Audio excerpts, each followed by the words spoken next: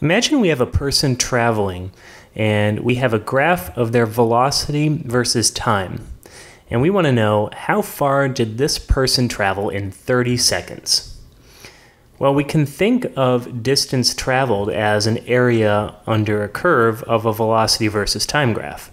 So if we want to know from 0 to 30 seconds, how far the person traveled, we need to find this area under the curve. And the best way to do that is to divide it up into shapes that are familiar. So if I put a line right here, then I get a triangle right here. And if I put another line right here, then I would get a rectangle, and then I would get another triangle over here. So I'll call this area 1. I will call this area 2, and I will call this area 3.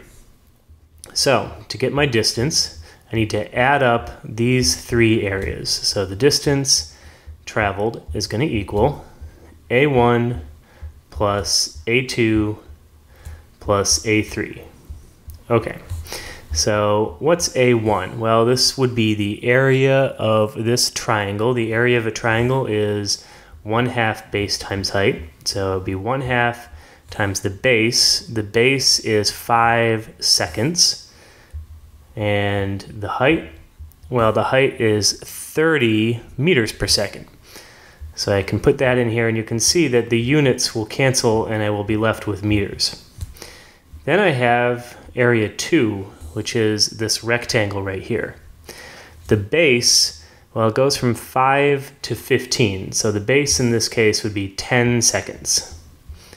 And the height is still uh, 30. So this is 30 meters per second. And then area 3.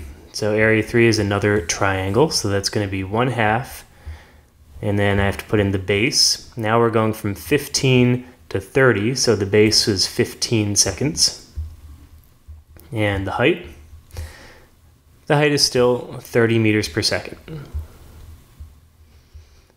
Okay, so if I were to calculate all of this right here, I end up getting 600 meters.